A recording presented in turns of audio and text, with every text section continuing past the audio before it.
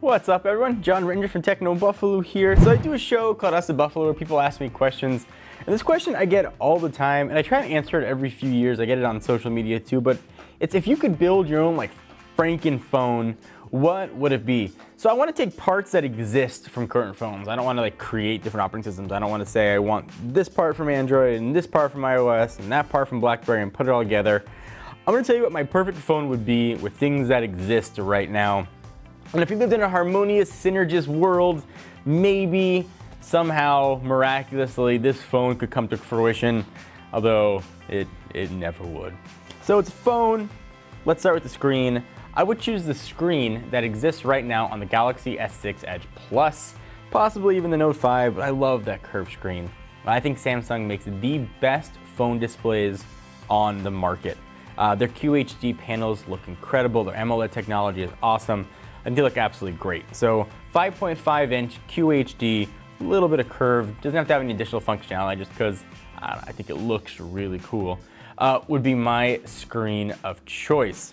Uh, who's gonna build the exterior casing of this phone? I'm gonna tap HTC to do that.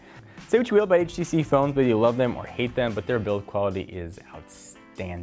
Uh, I love their metal design. Uh, it feels really high-end. I like sort of the cool feel when I pick up the phone. I don't feel anything hollow in it. I would absolutely tap HTC uh, to build the phone. When it came to battery technology, uh, I would probably go back again to Samsung uh, and tap them for a larger battery that we've got in the Galaxy S6 Edge Plus. Um, so we can use that wireless charging uh, with PMA or Qi. I would of course uh, add the ability to have expandable storage. The battery I was just talking about, it would be removable. Sometimes you're traveling, you want to carry an extra battery, though for me it's few and far in between, but I would like to have the option uh, to do that. On the processor, going back to Samsung, uh, one of their octa-core Exynos chips, again, same chipset that currently exists in the S6 Edge Plus, the Note 5 is incredibly powerful. Uh, I would also use that same 4 gigs of RAM uh, that are inside of these phones to make sure I was gonna have a phone that would work and be powerful for a long, long, long time.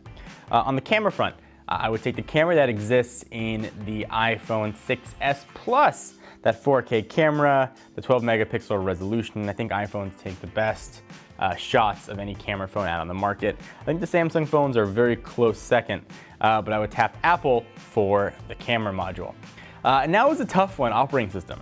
I'd have to pick one that already exists, and I went back and forth on iOS and Android like I do. I go back and forth on iOS and Android. It Seems like I switch like once a week. I usually just kind of throw my hands up in the air and carry one of each because I use software that help me run the business that only exists on one uh, or the other.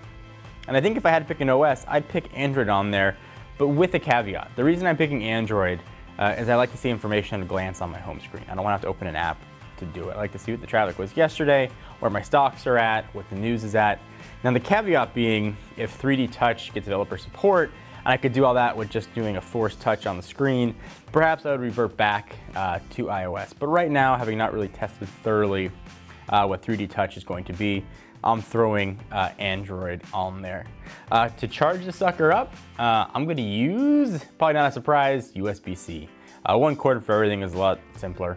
Um, I use a MacBook when I travel, so I don't have to worry about carrying one cord, one external battery pack to power both. Just make life a lot easier uh, would be the phone that I would choose. The speakers is not one that I talk about, but I would pick the speakers, either HTC's Boom Sound or the speakers in the new Moto X are super loud. I mentioned that in our review uh, of the Moto X, but I had to turn the volume down, which is something that I haven't really done um, recently. And the last thing that I would add in there would be Moto Maker. Be able to customize the hell out of this thing. Things from color, textures, uh, and front accents and side accents uh, would be what I would choose. And the last bit of software that I would add, uh, I would take Motorola's uh, take on Android with the Motorola enhancements there. So close to stock Android uh, with those Motorola enhancements would I be my ideal smartphone. I would have power, I'd have build, I'd have battery, I'd have charging, of course with the quick charging. Uh, built right in and wireless charging capabilities. Uh, I'd have a killer camera that can shoot 4K. I'd have expandable storage. Uh, and I would be a really happy guy for probably like three weeks. And I'd be like, need something new because I need immediate gratification. That's side effect of this job. I just always need new things to come. It's sad, but it happens. Uh, and that would be my ideal smartphone. So the question to you, friends, what would your ideal smartphone be based on things that exist right now, not combining parts of different uh, software, but that exists right now in piecemeal, what would your favorite phone be? Love to hear your thoughts on it. And thank you guys for watching. Hope you enjoyed. I put a lot of thought into this video. Until next time, I'm Jon Rettinger from Techno Buffalo, and I'll talk to you friends in the next one.